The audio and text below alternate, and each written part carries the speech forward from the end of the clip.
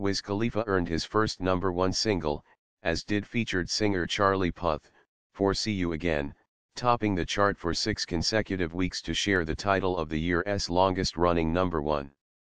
Its data, published by the Australian Recording Industry Association, is based collectively on each single's weekly physical and digital sales.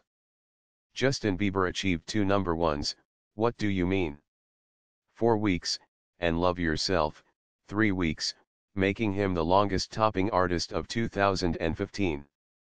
For spending six consecutive weeks each at number one, the longest running number one singles of the year were Wiz Khalifa and Charlie Puth's See You Again and Adele's Hello.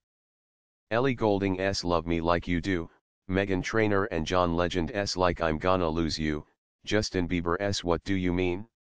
And Macklemore and Ryan Lewis Downtown shared the title of second longest running number one single of 2015, each spending four weeks on the top. Adele's Hello also topped the chart for six consecutive weeks, becoming her second number one after 2011's Someone Like You. Justin Bieber achieved his first two number one singles in late 2015, What Do You Mean?